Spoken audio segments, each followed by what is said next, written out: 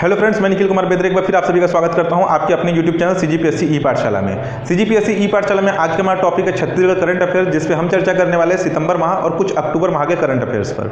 चलिए शुरू करते हैं। सबसे पहले नंबर पर है चर्चित स्थान। चर्चित स्थानों में पहला है आपका tribal tourism circuit tribal tourism circuit के अंतर्गत छत्तीसगढ़ के कुल तेरह पर्यटन स्थलों को शामिल किया गया है।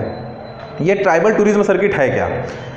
Tribal tourism circuit Swadesh Darshan योजना का एक भाग है। स्वदेश दर्शन योजना, जिसे केंद्र सरकार ने अपने बजट 2014-15 में प्रारंभ किए जाने की घोषणा की थी, जिसके परिणाम स्वरूप जनवरी 2015 में यह स्वदेश दर्शन योजना प्रारंभ हुआ।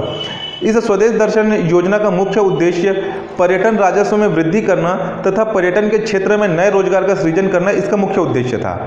इस स्वदेश दर्शन योजना के अंतर्गत कुल तेरह थीम डिसाइड किए गए थे। तेरह थीम बोलिए, तेरह परिपथ बोलिए या तेरह सर्किट बोलिए, सब एक ही है। तो इस स्वदेश दर्शन योजना के अंतर्गत कुल तेरह थीम को शामिल किया गया था। जैसे आपको एग्ज़ाम्पल के लिए बता देता हूँ। जैसे रामायण परिपथ या रामायण सर्किट। रामायण सर्किट के अंतर्गत अंतर्गत भगवान राम के जन्म स्थान से लेके उनके ननिहाल उनका वनवास, उसके बाद सीता माता का अपहरण से लेकर के उनके लंका गमन तक। तो उनके गमन पाथ में जो जो प्रमुख पर्यटन स्थल पड़ रहे हैं, उनको सरकार डेवलप कर रही है इस स्वदेश दर्शन योजना के अंतर्गत। तो ऐसे ही जब ये स्वदेश दर्शन योजना प्रारंभ हुआ था तो छत्तीसगढ़ को इस स्वदेश दर्शन योजना के अंतर्गत एक जनजातीय परिपथ और दूसरा है आपका बौद्ध बौद्ध परिपथ या बौद्ध सर्किट। इस दो में रखे जाने की संभावना थी। बौद्ध परिपथ के अंतर्गत जो आपका सिरपुर में स्थित जो बौद्ध विहार है वो और जनजाति परिपथ के अंतर्गत आपका सरगुजा संभाग और बस्तर संभाग में रखे जाने की संभावना थी। तो हाल ही में इस स्वदेश दर्शन योजना के अंतर्गत छत्तीसगढ़ को, छत्तीसगढ़ के ट्राइबल टूरिज़्म सर्किट के तेरह पर्यटन स्थलों को शामिल कर लिया गया है। स्वदेश दर्शन योजना के अंतर्गत यह देश का पहला ट्राइबल टूरिज़्म सर्किट होगा। स्वदेश दर्शन योजना के अंतर्गत पूरे देश भर में चार ट्राइबल टूरिज़्म सर्किट डेवलप किए जाएँगे, जिसमें से पहला ट्राइबल टूरिज़्म सर्किट को मंजूरी दे दी गई है छत्तीसगढ़ में। छत्तीसगढ़ में इस स्वदेश दर्शन योजना के अंतर्गत पहला ट्राइबल टूरिज़्म सर्किट डेवलप किया जाएगा। स्वदेश दर्शन योजना प्रारंभ हुआ था आपके जनवरी 2015 में, जिसमें टोटल तेरह थीम डिसाइड किए गए थे।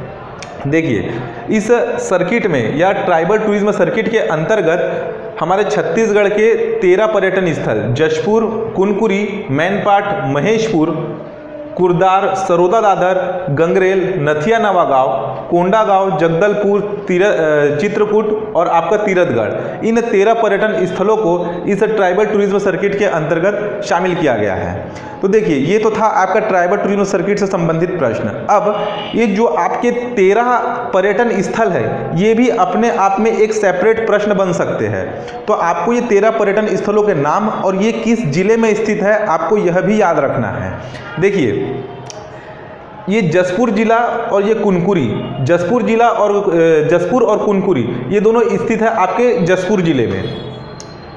दूसरा, मैनपाट, महेशपुर और और ये, कमलेश्वरपुर। मैनपाट, महेशपुर और कमलेश्वरपुर, ये स्थित है आपके सरगुजा ज़िले में। कुरदार, ये स्थित है आपके बिलासपुर ज़िले में। सरोदा दादर, ये स्थित है कवर्धा ज़िले में। गंगरेल, ये है आपके धमतरी में नथिया नवा गाँव। नथिया नवा गाँव स्थित है आपके कांकेर जिला में।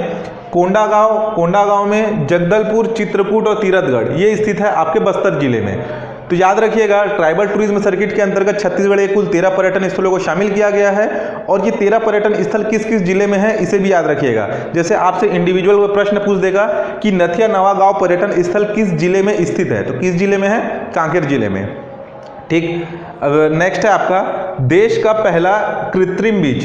देश का पहला कृत्रिम बीज डेवलप किया जाएगा आपका गंगरेल धमतरी में। गंगरेल धमतरी में देश का पहला कृत्रिम बीज बनाए जाने की घोषणा अभी हाल ही में केंद्र सरकार के केंद्रीय पर्यावरण राज्य मंत्री स्वतंत्र प्रभा, जिनका नाम है के जे अल्फांस। के जे अल्फांस जो अभी हाल ही में इस ट्राइबल टूरिज़्म सर्किट के उद्घाटन के समय छत्तीसगढ़ प्रवास में आए थे तो अपने छत्तीसगढ़ प्रवास के दौरान उन्होंने देश के पहला कृत्रिम बीज, देश का पहला कृत्रिम बीज डेवलप किए जाने की घोषणा की है आपका गंगरेल धमतरी में। कृत्रिम बीच मतलब कि जैसे आपका समुद्र का किनारा, समुद्र के किनारे में जैसे समुद्र की लहरें उठती है और उसके आसपास का जो एक रेतीला एरिया तो वैसे टाइप का एक कृत्रिम बीच डेवलप किया जाएगा गंगरेल। महानदी के तट के किनारे पर ऐसा एक रेतीला बीच और समुद्र की जैसे एक आर्टिफिशियल लहरें डेवलप की जाएगी इस कृत्रिम बीच में। तो देश का पहला कृत्रिम बीच बनाए जाने की घोषणा की गई है आपका गंगरेल धमतरी में। नेक्स्ट है आपका पिलखा क्षीर प्रसंस्करण केंद्र, पिलखा क्षीर प्रसंस्करण केंद्र, ये खोला गया है आपका सिलफिला सॉरी सिलफिली ग्राम सूरजपुर में। सूरजपुर जिला के सिलफिली ग्राम में पिलखा क्षीर प्रसंस्करण केंद्र खोला जा रहा है। अटल विकास यात्रा, अटल विकास यात्रा के दौरान सूरजपुर ज़िले में डॉक्टर रमन सिंह ने इस पिलखा क्षीर प्रसंस्करण केंद्र को उद्घाटन किया। यह जो आपका पिलखा चीज़ प्रस्करण केंद्र है, यह आपका एक दुग्ध प्रसंस्करण केंद्र है। दुग्ध प्रसंस्करण केंद्र, यहाँ के, यहाँ पर आपको दूध दुग्ध के उत्पादन और संग्रहण किया जाएगा। इस प्रसंस्करण केंद्र का मुख्य उद्देश्य दुग्ध के उत्पादन को बढ़ावा देना तथा किसानों को दूध का एक वाजिब मूल्य प्रदान करना इसका मुख्य उद्देश्य है। इस पिलखा क्षीर प्रसंस्करण केंद्र में दूध का उत्पादन संग्रहण के साथ साथ दूध से बनने वाले विभिन्न प्रोडक्ट जैसे दूध, दही, खीर, छाछ, पनीर आदि यहाँ पे बना करके मार्केट में बेचे जाएँगे। तो याद रखिएगा कि पिलखा क्षीर प्रसंस्करण केंद्र कहाँ है? आपका सिलफिली ग्राम सूरजपुर जिला में। ये संबंधित है आपका दुग्ध उत्पादन और संग्रहण से या ये प्रदेश का दुग्ध प्रसंस्करण केंद्र है। नेक्स्ट नेक्स्ट है आपका एग्रोमॉल एग्रोमॉल ये सेम कॉन्सेप्ट पे बना है आपका किसान शॉपिंग मॉल प्रदेश का पहला किसान शॉपिंग मॉल कहाँ है? आपका राजनांदगांव ज़िले में। तो उसी के कॉन्सेप्ट से राज्य सरकार इस एग्रो मॉल को खोले जाने की घोषणा की है। ये एग्रो मॉल खोले जाएँगे आपके रायपुर जिला और महासमुंद जिला में। रायपुर जिला और महासमुंद जिला में एग्रो मॉल खोले जाएँगे। इस एग्रो मॉल में किसान के उपयोग की सभी वस्तुएँ, जैसे बीज, खाद, उर्वरक, कीटनाशक, किसान से कृषि संबंधित पार्ट्स ट्रैक्टर के पार्ट्स ये सारे के सारे एक ही छत के नीचे मिलेंगे। तो ये एग्रो मॉल खोला जा रहा है आपका रायपुर और महासमुंद दो जिलों में। रायपुर और महासमुंद जिलों में एग्रो मॉल खोले जाने की घोषणा भी हाल ही में की गई है। अब अगला है आपका झारा शिल्प एम्पोरियम। झारा शिल्प एम्पोरियम खो, खोला गया है आपके रायगढ़ ज़िले में। झारा शिल्प एम्पोरियम क्या है? देखिए, छत्तीसगढ़ में इसे जाना जाता है ढोकरा शिल्प के नाम से। ढोकरा शिल्प जिसमें एक शिल्पकार मोम से एक आकृति बना करके उसे मिट्टी में दबा देता है, तथा पीतल को पिघला करके उस मिट्टी में डालता है, जिससे वो मोम मोम का शेप ले लेता है। मोम पीतल गर्म होने के कारण मोम पिघल के बाहर हो जाता है, और उस मोम, जो आकृति मोम की बनी हुई है, वही आकृति आपका वो पिघला हुआ पीतल ले लेता है। तो इसे प्रदेश में कहा जाता है आपका ढोकरा शिल्प। ढोकरा शिल्प छत्तीसगढ़ में राज्य राज्य स्तर पर यह फ़ेमस है, लेकिन क्षेत्रीय स्तर पर इसके अलग अलग नाम हैं। जैसे आपका बस्तर में इस ढोकरा शिल्प का नाम है घड़वा शिल्प, उसके बाद महासमुंद में इसका नाम है केसर शिल्प, रायगढ़ में है इसका नाम झारा शिल्प, और आपका सरगुजा ज़िले में इसका नाम है मलार शिल्प। तो छत्तीसगढ़ में क्षेत्रीय आधार पर इस ढोकरे शिल्प के अलग अलग नाम हैं। तो वैसे ही रायगढ़ ज़िले में इस ढोकरा शिल्प का नाम क्या है? झारा शिल्प।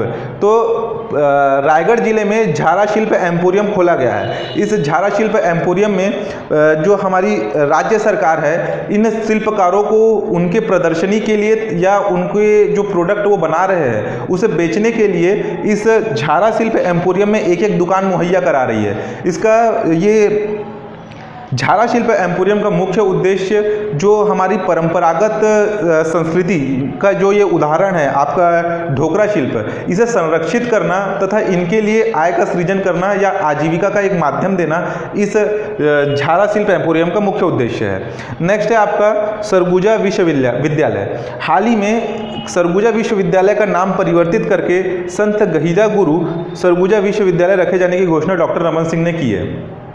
संत गहिरा गुरु सरगुजा विश्वविद्यालय, अब से सरगुजा विश्वविद्यालय का नया नाम होगा। ये संत गहिरा गुरु है कौन? संत गहिरा गुरु कंवर जनजाति से संबंधित है। इसे याद रखिएगा, संत गहिरा गुरु कंवर जनजाति से संबंधित है।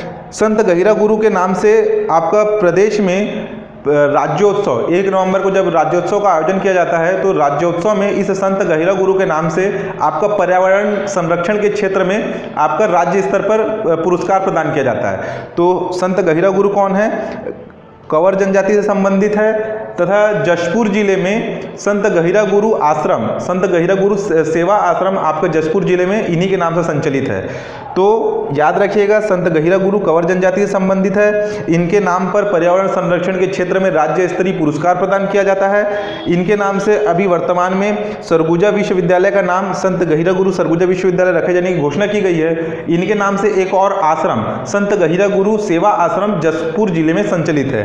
ये सारे चीज़ों को याद रखिएगा। नेक्स्ट है आपका D K S super speciality hospital.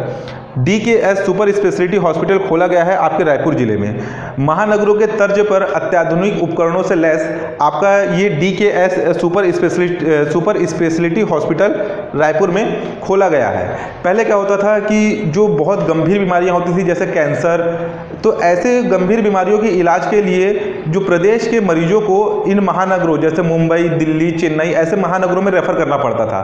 तो महानगरों में जो चिकित्सकीय उपकरण यूज़ किए जाते हैं तो वैसे ही टाइप के चिकित्सकीय उपकरणों को इस D K S super specialist, super speciality hospital में लाया गया है। तो याद रखिएगा, ये जो D K S super speciality hospital महानगरों के तर्ज पर खोला गया प्रदेश का पहला हॉस्पिटल है, कहाँ पर है? रायपुर ज़िले में।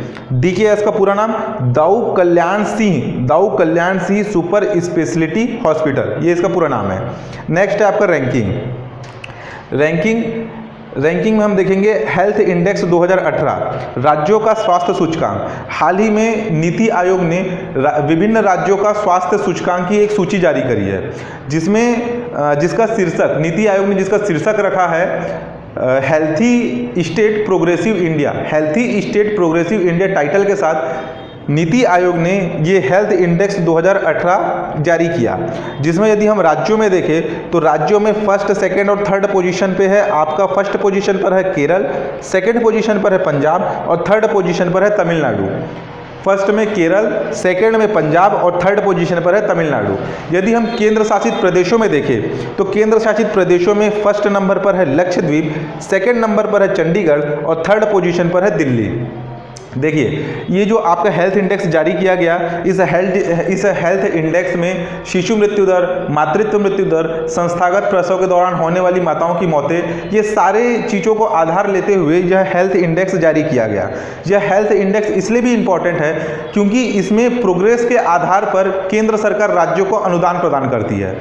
तो देखिए, इसमें राज्यों में फ़र्स्ट में है आपका केरल सेकंड में पंजाब थर्ड में है आपका तमिलनाडु तथा सबसे लास्ट पोजीशन पर है आपका उत्तर प्रदेश। उत्तर प्रदेश इस सूची में सबसे लास्ट पोजीशन पर है। केंद्र शासित प्रदेशों में पहले नंबर पर है लक्षद्वीप सेकंड नंबर पर है चंडीगढ़ थर्ड नंबर पर है दिल्ली और इस केंद्र शासित प्रदेशों में सबसे लास्ट पोजीशन पर है आपका दादर नागर हवेली। छत्तीसगढ़ की क्या स्थिति है इसमें? छत्तीसगढ़ इस हेल्थ इंडेक्स 2018 में छत्तीसगढ़ बारहवें स्थान पर है तथा उसे अंक मिला है 49.87 उनचास दशमलव आठ सात अंक के साथ छत्तीसगढ़ हेल्थ इंडेक्स मीन्स स्वास्थ्य सूचकांक में बारहवें स्थान पर है। आप ये बाकी राज्यों को याद नहीं रखेंगे तो भी चलेगा, लेकिन याद रखिएगा, इसे अंक के साथ याद रखिएगा कि हेल्थ इंडेक्स या राज्यों के स्वास्थ्य सूचकांक में छत्तीसगढ़ 49.87 अंक के साथ बारहवें स्थान पर है। ठीक? अब नेक्स्ट नेक्स्ट है आपकी योजनाएँ। योजनाओं में पहले नंबर पर है आपका हमर छत्तीसगढ़ योजना। हमर छत्तीसगढ़ योजना प्रारंभ हुआ था आपका 1 जुलाई 2016 से, तथा यह समाप्त हुआ है अभी हाल ही में 30 सितंबर 2018 को। देखिए, यह हमर छत्तीसगढ़ योजना है क्या? इस हमर छत्तीसगढ़ योजना में राज्य सरकार त्रिस्तरीय पंचायती राज्य तथा नगरीय निकाय के प्रतिनिधियों, बिहान योजना के अंतर्गत शामिल स्व सहायता समूहों की महिलाओं तथा सहकारी समिति एवं संयुक्त वन प्रबंधन समिति के विभिन्न प्रतिनिधियों को राज्य सरकार स्वयं के खर्च में दो दिवसीय अध्ययन भ्रमण कराती थी। ठीक है? दो दिवसीय अध्ययन भ्रमण कराया जाता था। प्रतिनिधियों को रायपुर एवं नया रायपुर का दो दिवसीय अध्ययन भ्रमण कराया जाता था इस हमर छत्तीसगढ़ योजना में। देखिए, इस हमर छत्तीसगढ़ योजना से ऑलरेडी प्रश्न पूछा जा चुका है। व्यापम ने इस पर यह प्रश्न उठाया था कि हमर छत्तीसगढ़ योजना कब प्रारंभ की गई थी? तो कब प्रारंभ की गई थी? एक जुलाई दो हज़ार सोलह को। तो जब यह समाप्त तो हुआ तो इससे प्रश्न बनने वाजिब है। तो देखिए, हमर छत्तीसगढ़ योजना प्रारंभ किया गया था आपका एक जुलाई दो हज़ार सोलह को। यह समाप्त हुआ है आपका सितंबर 2018 को। देखिए जब ये हमर छत्तीसगढ़ योजना प्रारंभ किया गया था आपका एक जुलाई 2016 को तो इसकी अवधि डिसाइड की गई थी दो साल। दो साल या चौ, या 24 माह। यानी ये समाप्त होता आपका 30 जून 2018 को। लेकिन इसकी लोकप्रियता को देखते हुए राज्य सरकार ने इसकी अवधि तीन माह के लिए और बढ़ा दी। यानी ये कुल चला आपका दो साल तीन महीना या आपका सत्ताईस माह। तो ये हमर छत्तीसगढ़ योजना आपका 1 जुलाई 2016 को प्रारंभ हुआ था जिसकी अवधि समाप्त हो चुकी थी आपका 30 जून 2018 को, लेकिन इसकी लोकप्रियता को देखते हुए इसे तीन माह के लिए और बढ़ाया गया तो ये समाप्त हुआ आपका 30 सितंबर 2018 को। इस योजना के अंतर्गत प्रतिनिधियों को रायपुर एवं नया रायपुर का दो दिवसीय अध्ययन भ्रमण कराया जाता था। प्रतिनिधियों को रायपुर और नया रायपुर में जो स्मार्ट सिटीज़ बनी हुई है, आपका स्टेडियम इंदिरा गांधी कृषि विश्वविद्यालय आपका Purkhauni Muktangan science park Urja park आदि स्थानों पे इन्हें राज्य सरकार स्वयं के खर्च पर, यानी इनको जो परिवहन सुविधा मुहैया कराना, उनके रहने का खर्च, खाने पीने का खर्च, राज्य सरकार स्वयं वहन करके इन्हें इन रायपुर और नया रायपुर में दो दिवसीय अध्ययन भ्रमण कराती थी। देखिए, जब यह हमर छत्तीसगढ़ योजना प्रारंभ किया गया तो हमर छत्तीसगढ़ योजना में यह डिसाइड किया गया था कि पूरे प्रदेश भर में से 2.19 2.19 लाख प्रतिनिधियों को इस हमर छत्तीसगढ़ योजना के अंतर्गत दो दिवसीय अध्ययन भ्रमण कराया जाएगा। लेकिन जब यह समाप्त हुआ अभी 30 सितंबर 2018 को तो राज्य सरकार ने इस हमर छत्तीसगढ़ योजना के अंतर्गत एक दशमलव छः सात लाख 1.67 लाख प्रतिनिधियों को इस हमर छत्तीसगढ़ योजना के अंतर्गत दो दिवसीय अध्ययन भ्रमण कराया। लक्ष्य था 2.19 लाख प्रतिनिधियों को अध्ययन भ्रमण कराया जाए, लेकिन कराया कितने लोगों को गया? 1.67 लाख प्रतिनिधियों को। ठीक है? तो याद रखिएगा, हमर छत्तीसगढ़ योजना प्रारंभ हुआ आपका 1 जुलाई 2016 को, समाप्त हुआ 30 सितंबर 2018 को, जिसके अंतर्गत प्रतिनिधियों को रायपुर एवं नया रायपुर का दो दिवसीय अध्ययन भ्रमण कराया जाता था। इसमें लक्ष्य रखा गया था 2.19 लाख प्रतिनिधियों को इस हमर छत्तीसगढ़ योजना के दो साल के अवधि के दौरान भ्रमण कराया जाएगा। लेकिन कराया कितने लोगों को गया? 1.67 लाख प्रतिनिधियों को। नेक्स्ट है आपका चिन्हारी योजना। चिन्हारी योजना के अंतर्गत राज्य सरकार सांस्कृतिक विभाग द्वारा राज्य के लोक कलाकारों का ऑनलाइन पंजीयन करा रही है। चिन्हारी योजना किससे संबंधित है? चिन्हारी योजना लोक कलाकारों या लोक सांस्कृतिक कलाकारों के ऑनलाइन पंजीयन से संबंधित है। छत्तीसगढ़ राज्य सरकार की जो सांस्कृतिक विभाग है, ये इन लोक कलाकारों का ऑनलाइन पंजीयन करा रही है ताकि ये लोक कलाकार या लोक सांस्कृतिक कलाकार डायरेक्ट सांस्कृतिक विभाग से जुड़ सके और इस सांस्कृतिक विभाग द्वारा चलाए जा रहे विभिन्न कार्यक्रमों तथा योजनाओं का इन्हें डायरेक्ट लाभ पहुँच सके। तो याद रखिएगा कि ये चिन्हारी योजना किससे संबंधित है? लोक कलाकारों से संबंधित है। नेक्स्ट है आपका पुरस्कार। स्वच्छता सर्वेक्षण ग्रामीण। अभी हाल ही में स्वच्छता सर्वेक्षण ग्रामीण 2018 पुरस्कारों पर हम चर्चा करते हैं। अभी 2 अक्टूबर 2018 को महात्मा गांधी की 150वीं जन्म जयंती बनाई गई, जिसमें आपका स्वच्छता सर्वेक्षण ग्रामीण 2018 के पुरस्कार वितरित किए गए। देखिए, इस स्वच्छता सर्वेक्षण ग्रामीण के अंतर्गत जो स्वच्छता के क्षेत्र में उचित क्रियान्वयन के लिए सर्वोच्च राज्य पुरस्कार स्वच्छता सर्वेक्षण ग्रामीण के अंतर्गत सर्वोच्च राज्य पुरस्कार प्रदान किया गया है आपके हरियाणा को। हरियाणा, यानी हरियाणा फ़र्स्ट पोजीशन पर रहा स्वच्छता सर्वेक्षण ग्रामीण में। तो याद रखिएगा, स्वच्छता सर्वेक्षण ग्रामीण के अंतर्गत सर्वोच्च राज्य पुरस्कार प्रदान प्रदान किया गया है आपके हरियाणा राज्य को। नेक्स्ट, यदि हम जिलों में बात करें जिलों में, जिलों की स्थिति देखें तो जिलों में फ़र्स्ट पोजीशन पर रहा आपका सतारा। सतारा कहाँ है? महाराष्ट्र। महाराष्ट्र का सतारा जिला स्वच्छता सर्वेक्षण ग्रामीण 2018 में फ़र्स्ट पोजीशन पर रहा, जबकि आपका सेकंड पोजीशन पर रहा आपका रेवाड़ी। रेवाड़ी कहाँ है? हरियाणा में। हरियाणा राज्य का रेवाड़ी जिला आपका सेकेंड पोजिशन पर रहा इस स्वच्छता सर्वेक्षण ग्रामीण के अंतर्गत। अब देखिए, हमारे जो छत्तीसगढ़ का जो सरगुजा जिला है, आपको कई न्यूज़पेपर पढ़ने पढ़ने मिला होगा कि स्वच्छ स्वच्छता सर्वेक्षण ग्रामीण के अंतर्गत छत्तीसगढ़ का सर, सरगुजा जिला सेकंड पोजीशन पर रहा। लेकिन देखिए गलतियाँ यहाँ मत कीजिएगा। सरगुजा जिला जो है ये देश के पूर्वी क्षेत्रों में पूर्वी क्षेत्रों में उत्कृष्ट प्रदर्शन के लिए इसे द्वितीय पुरस्कार मिला है। देश के पूर्वी क्षेत्रों में उत्कृष्ट प्रदर्शन के लिए सरगुजा ज़िले को सेकंड पुरस्कार मिला है।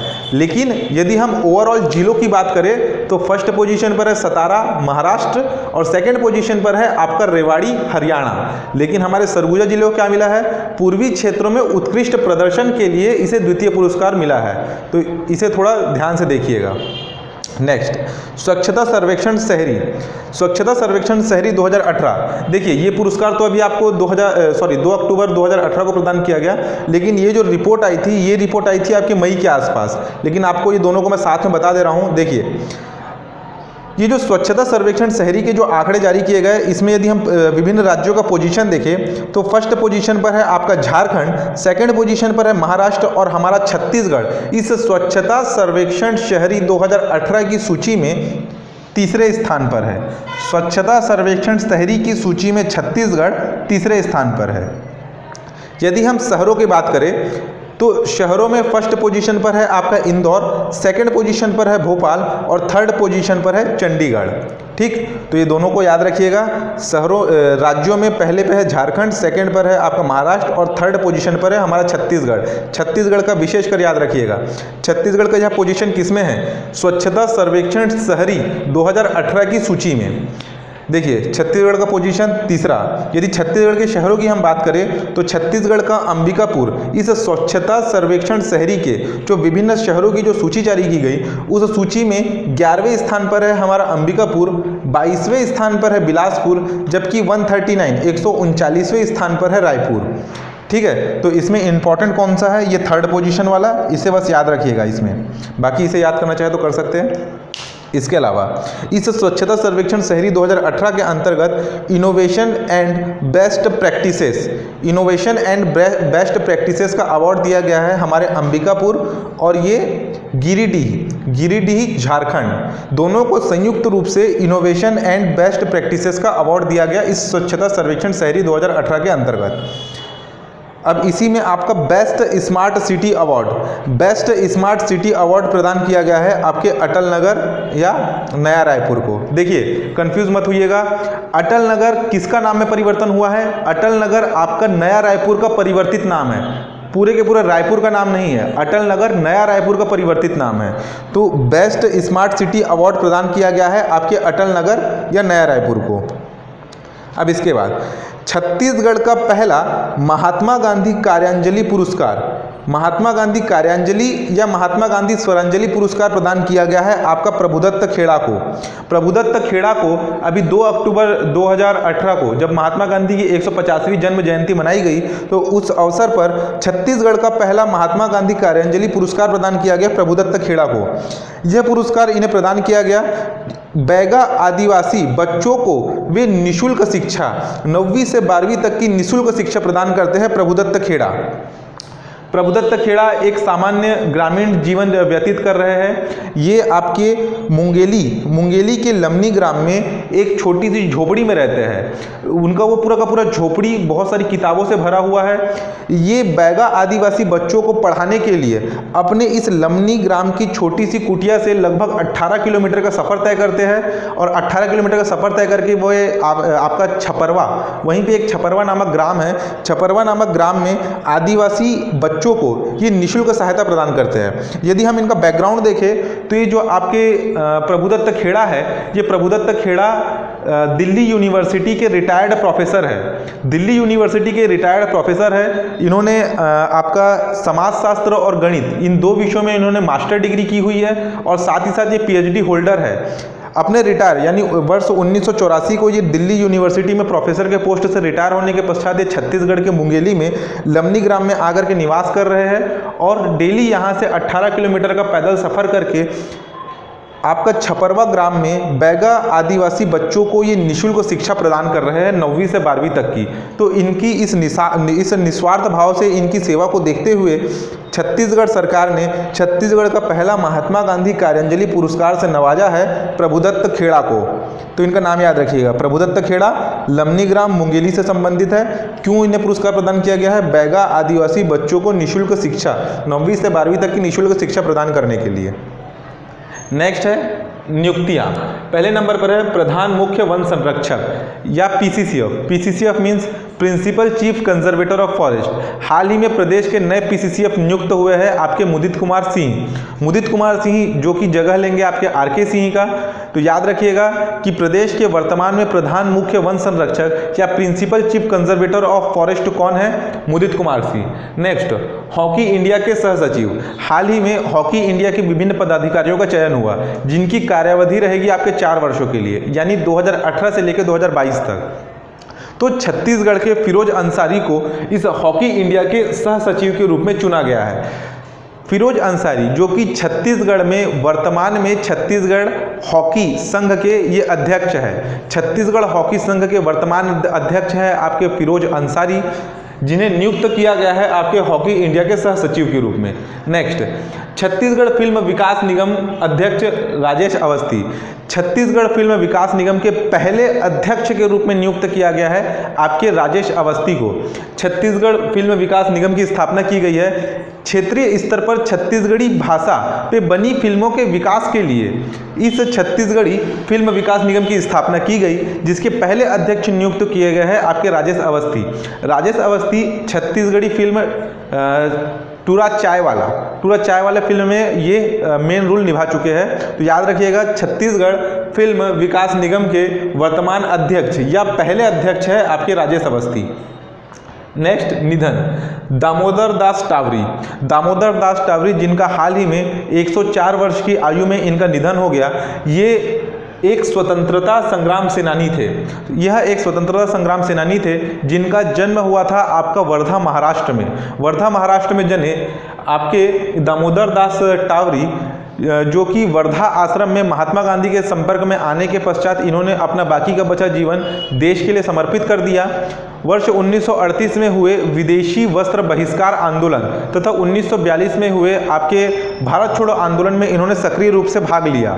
इन्हें आंदोलन में भाग लेने के कारण इन्हें फांसी की सज़ा हुई थी, लेकिन पंडित जवाहरलाल नेहरू के हस्तक्षेप करने के कारण इनकी सज़ा कम करके दो साल के, दो साल का सामान्य जेल कर दिया गया था। ये आज़ादी के पश्चात ये आपके महाराष्ट्र को छोड़ करके छत्तीसगढ़ के डोंगरगांव, राजनांदगांव ज़िले में आकर के बस गए थे। जिनका भी हाल ही में 104 वर्ष की आयु में निधन हो गया। तो याद रखिएगा, दामोदर दास टावरी, जो कि एक स्वतंत्रता संग्राम सेनानी थे, ये इनका निधन हुआ है आपका राजनांदगांव ज़िले डोंगरगांव में। नेक्स्ट विशेष। विशेष में है छत्तीसगढ़ विधानसभा निर्वाचन 2018 थीम। जैसे आप सभी को पता है कि अभी छत्तीसगढ़ विधानसभा चुनाव 2018 अभी होने वाले हैं तो इसी परिप्रेक्ष्य में जो छत्तीसगढ़ राज्य निर्वाचन आयोग ने अभी एक नोटिफिकेशन जारी किया, उस नोटिफिकेशन में उसने निर्वाचन 2018 सुगम सुघर समावेशी, छत्तीसगढ़ विधानसभा निर्वाचन 2018 के लिए छत्तीसगढ़ राज्य निर्वाचन आयोग ने एक थीम जारी किया। उस थीम का नाम है निर्वाचन 2018 सुगम सुघर समावेशी।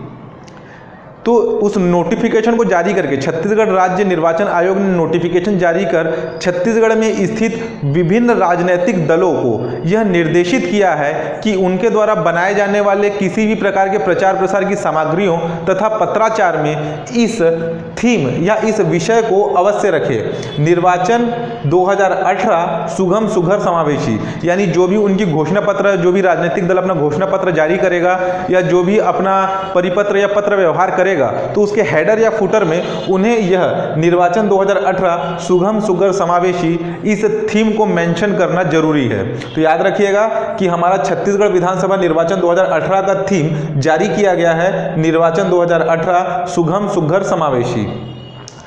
नेक्स्ट है आपका धान एवं मक्का खरीदी। तो छत्तीसगढ़ सरकार ने लगभग 2400 करोड़ रुपए की राशि धान खरीदी के लिए आवंटित की है।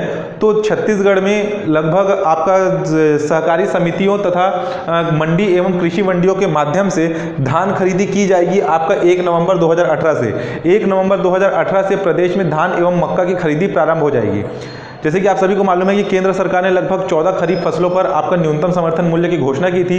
तो उन्हीं न्यूनतम समर्थन मूल्यों के आधार पर छत्तीसगढ़ में आपका इस धान और मक्का की खरीदी प्रारंभ होगी आपका एक नवंबर 2018 से। देखिए, ये जो आपका धान धान की खरीदी और मक्का की खरीदी, ये जो धान की खरीदी करती है, ये करती है आपकी मार्कफेड छत्तीसगढ़ में धान की खरीदी के लिए संबंधित संस्था या जिम्मेदार या जवाबदेही संस्था है आपका मार्कफेड छत्तीसगढ़ में धान की खरीदी करती है मार्कफेड, जबकि मक्का की खरीदी करती है मक्का खरीदी नागरिक आपूर्ति निगम। याद रखिएगा, धान की खरीदी मार्कफेड के द्वारा की जाती है, जबकि मक्का की खरीदी की जाती है मक्का खरीदी नागरिक आपूर्ति निगम। तो ये जो आपकी जो दोनों संबंधित संस्था है, ये अभी केंद्र सरकार द्वारा जारी मिनिमम सपोर्ट प्राइस या न्यूनतम समर्थन मूल्य के आधार पर ही धान की खरीदी करेगी। न्यूनतम समर्थन मूल्य धान के लिए डिसाइड किया गया है। सामान्य धान के लिए न्यूनतम समर्थन मूल्य है आपका सत्रह सौ जबकि ग्रेड ए धान के लिए है आपका न्यूनतम समर्थन मूल्य सत्रह सत्तर रुपये छत्तीसगढ़ सरकार ने ऑलरेडी इस धान के ऊपर बोनस दिए जाने की घोषणा की है। तो देखिए, धान के ऊपर कितना बोनस दिया जाएगा? तीन सौ रुपये तो तीन सौ रुपये बोनस के बाद जो आपका सामान्य धान की कीमत कितनी हो जाएगी? अभी न्यूनतम समर्थन मूल्य है सत्रह पचास सत्रह पचास प्लस तीन सौ, यानी दो हज़ार पचास तथा ग्रेड ए की धान की कीमत रहेगी दो हज़ार सत्तर रुपये तो दो हज़ार पचास और दो हज़ार रुपये के आधार पर, यानी दो हज़ार पचास रुपये प्रति क्विंटल सामान्य धान और दो हज़ार सत्तर रुपये प्रति क्विंटल ग्रेड ए धान की खरीदी करेगी मार्कफेड। वैसे ही मक्का की खरीदी की जाएगी सत्रह सौ रुपये प्रति क्विंटल। सत्रह सौ रुपये प्रति क्विंटल के आधार पर मक्का की खरीदी करेगी आपकी मक्का खरीदी नागरिक आपूर्ति निगम। अब ये है आपकी अधिकतम सीमा। अधिकतम सीमा यानी एक किसान इस न्यूनतम समर्थन मूल्य के आधार पर अपना कितना कृषि उत्पाद बेच सकता है। तो देखिए, न्यूनतम समर्थन मूल्य के आधार पर एक किसान अधिकतम 15 कुंटल धान 15 क्विंटल धान बेच सकता है, जबकि मक्का, एक किसान अधिकतम 10 क्विंटल मक्का 10 क्विंटल मक्का बेच सकता है। ठीक है, इसे याद रखिएगा। अब इस न्यूनतम समर्थन मूल्य के आधार पर जो राज्य सरकार ने धान खरीदी का धान खरीदी का लक्ष्य रखा है पचहत्तर लाख मैट्रिक टन किसानों से राज्य सरकार ने इस वर्ष धान खरीदी का लक्ष्य रखा है। पचहत्तर लाख मैट्रिक टन जबकि मक्का खरीदी का लक्ष्य रखा गया है चालीस हज़ार मैट्रिक टन देखिए, ये जो आपकी धान और मक्का की खरीदी प्रारंभ होगी, आपकी छत्तीसगढ़ राज्य निर्माण दिवस, यानी 1 नवंबर 2018 से धान की खरीदी की जाएगी आपका 31 जनवरी 2019 तक।